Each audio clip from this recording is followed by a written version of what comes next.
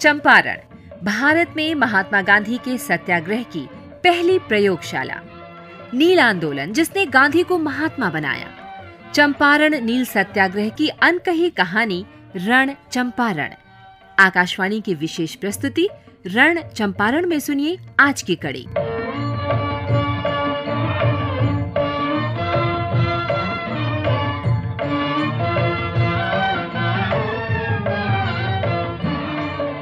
बंगाल के माथे से निलहे गोरों के अत्याचार का कलंक मिटा तो वो आकर चंपारण के माथे पर चिपक गया। यहाँ भी जुल्म करने वाले वही थे, जुल्म के तरीके वही थे। सिर्फ़ जगह बदल गई थी। बंगाल में नील का अत्याचार इतना था कि कई अंग्रेज़ पादरी उससे काँप गए। उनकी सहानुभूति रैयत के किसानों के साथ हो गई। वे इसका खुलेआम विरोध करने लगे। एक पादरी ने अपनी चिट्ठी में लिखा not a chest of indigo reached England without being stained with human blood नील आयोग में फरीदपुर के magistrate E W D Latour ने इसकी पुष्टि की।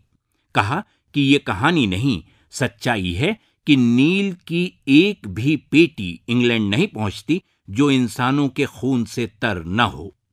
उनकी अदालत में ऐसे कई किसान आए जिन्हें गोली मारी गई थी। देह भाले से छेद दी गई थी। लोगों को मारकर उनकी लाशें गायब कर दी गई थीं। उन्होंने कहा, इस तरह नील बनाना केवल खून बहाना है। चंपारण में हालात इससे अलग नहीं थे, बल्कि बदतर थे। स्थानीय लोगों के साथ पादरियों की प्रतिक्रियाएँ भी उग्र थीं। शायद इसलिए भी कि चंपारण तब तक बंगाल का हिस्सा था। बिहार अलग राज्य नहीं बना था। पटना में जेवियर सामाजिक अनुसंधान संस्थान के प्रोफेसर फादर जोस कलापुरा का कहना है कि चर्च ने खुलकर किसानों का समर्थन नहीं किया, लेकिन तमाम पादरी किसानों के पक्षधर थे। बंगाल का बयान चंपारण पर भी उसी तरह लागू था। चंपारण पर भी एप्लीकेबल हुआ कुछ मिशनरीज अपने व्यक्तिगत तौर पर इस प्रकार का काम करते थे, विरोध करते थे और जो ओप्रेस्ड पेसेंट क्लास के साथ मिल करके उनके लिए काम किए थे, उनके आवाज़ उठाए, ये सही बात है। लेकिन ऑफिशियल तौर पर चर्च ऐसा एक रवैया नहीं अपनाया है मेरे ख्याल से।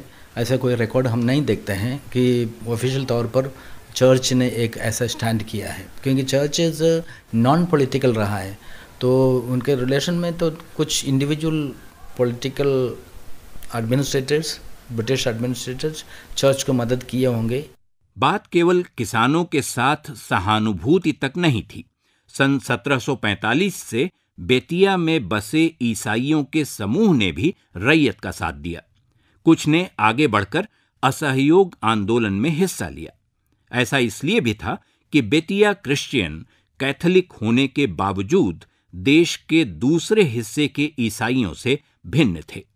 उनकी अलग पहचान आज तक कायम है। बेतिया चर्च से सक्रियता से जुड़े हेनरी वॉल्टर बेनेडिक्ट इसे और स्पष्ट करते हैं। यहाँ जो है, सभी जाति के अनेक धर्मों का सम्मेलन है और सबके साथ हम रहते हैं तो सबको ले कर चलना है ना? उसी भावना से वो उस समय के जो पुरोहित थे, उन्होंने उनको मदद दिया असहयोग आंदोलन में। पुरोहित का काम है कि हर हर व्यक्ति के साथ जो है मिल के काम करना। समाज का उत्थान मुसीबे अगर हम सेक्ट में बांट देंगे तो उसका कभी उत्थान होगा, कभी नहीं होगा। बेतिया राज के साथ अच्छे संबंध की वजह से उन्हें सामाजिक तौर पर कोई समस्या नहीं थी, बल्कि सम्मान था। शिक्षा और स्वास्थ्य के क्षेत्र में काम और निस्वार्थ सेवा ने उन्हें जन स्वीकार्य बना दिया था। समाज ने इस बात को भी सकारात्मक ढंग से लिया कि चर्च ने लोगों को अपनी परंपरा बदलने के लिए मजबूर नहीं किया। महिलाएँ सिंदूर लगाती थीं, चर्च में ढोलक और हारमोनियम बजता था और शुभ काम में केले के पत्तों से चौकी सजाई जाती थी।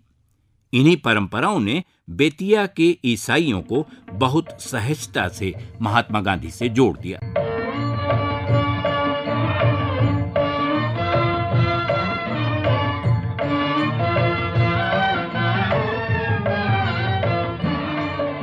बेतिया के ईसाइयों में कई नाम ऐसे हैं जिनका बिहार सरकार के दस्तावेजों में स्वतंत्रता सेनानी की तरह उल्लेख है।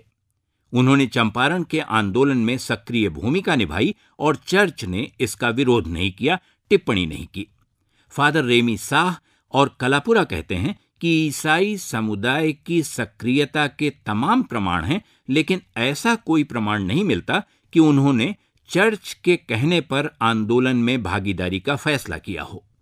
फादर जोस कलापुरा कहते हैं कि इन ईसाइयों ने बंदूकें भी बनाई। जहाँ का बेतिया क्रिश्चियन की बात है, जो स्वतंत्रता संग्राम में उन्होंने भाग लिया, जहाँ पर, शायद बेतिया क्रिश्चियन के लोग बढ़ई का काम करते थे और लोहार का काम करते थे। वो लोहारी कुछ जाति से जो लोहार नहीं होंगे, लेकिन वो लोहारी का काम पूरा मोहल्ला में चलता था और गढ़वान का काम चलता था और बढ़ई का काम चलता। ये तीनों ऑक्यूपेशन काफ़ी करीब करीब एक सौ वर्षों से वो लोग करते आ रहे थे। ये इंडस्ट्री जो उनके मैंने कब्जे मोनोपली में थे। तो उनको बोला गया जो तो उन्होंने वॉल्टियरली गन्स जो ब्रिटिश के खिलाफ चलाने जाने वाले गन्स का उन्होंने प्रोडक्शन किया। बेतिया कृष्ण में तीन स्वतंत्रता सेनानियों का नाम रिकॉर्ड में है। हम लोग जानते हैं कि ये किन के लिए किया? महात्मा गांधी के चंपारण पहुँचने पर दूसरे आम लोगों की तरह बेतिया के ईसाई समुदाय के लोगों ने भी उन्हें संत पुरुष मान लिया। Deenabandhu C F Andrews Champaran में समुदाय के लोगों से मिले, जिसके बाद अन्य लोगों ने स्वतंत्रता सेनानियों के साथ मिलकर काम किया। चर्च का आदर्श वाक्य उनकी दिशा निर्धारित करता रहा, जिसमें कहा गया था कि church is for the poor church गरीब लोगों के लिए है, उनका पक्षधर है। बेतिया ईसाई समुदाय ने इसकी जो व्याख्या की, उसका एक अर्थ यह निकलता था कि वह अत्याचार करने वाले का विरोध करेगा, भले वो ईसाई क्यों न हो। उस समय बेतिया के अधिकतर पादरी अमेरिकी और जर्मन थे, लेकिन इस रवैये में बाद में भी बदलाव नहीं आया जब अंग्रेज़ पादरी बने। चर्च गरीबों का हामी बना रहा और लोग किसानों के। फादर कलापुरा के मुताबिक, महात्मा गांधी से पादरियों की भेंट के बाद बेतिया के ईसाइयों पर इसका भारी असर हुआ और उन्होंने गांधी को सहयोग दिया।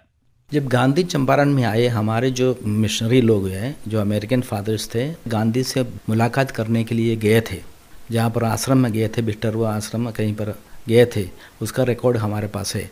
गांधी से मिले, गांधी उनको अच्छा स्वागत किया और उनसे बातचीत की, और मिशनरी लोगों ने गांधी को हमेशा अप्रिशिएट किया है।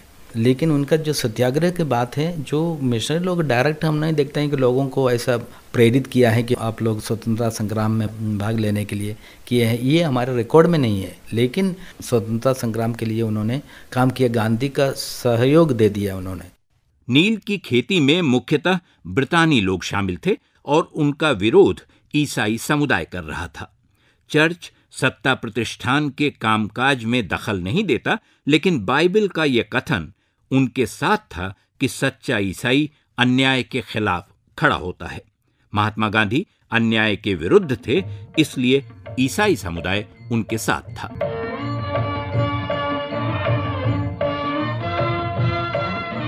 अभी आप सुन रहे थे आकाशवाणी की विशेष प्रस्तुति, रण चंपारण। परिकल्पना, शोध, आलेख और स्वर, मधुकर उपाध्याय। प्रस्तुति, विनोद कुमार। अगली कड़ी कल इसी समय इसी चैनल पर।